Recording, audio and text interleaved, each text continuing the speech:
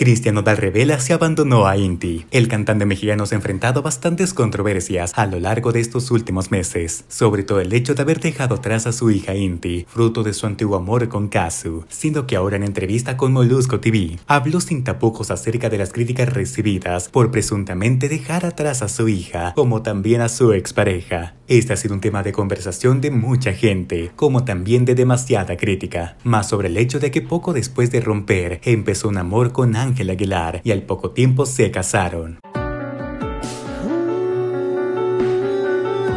Hablando abiertamente sobre cómo los comentarios negativos en redes han impactado en su vida, dejó claro que aunque le molestan las mentiras, no permite que cambie su realidad. Yo sé mi realidad, destacó Nodal, mencionando que lo único que le afecta es cuando involucran a las personas que ama, ya que según sus propias palabras, eso no es razón para dejarse llevar por rumores. Por ello que también se refirió a los retos emocionales que ha enfrentado desde inicios de su carrera, confesando que esta exposición lo llevó a un punto de quiebre, tanto mental como físicamente.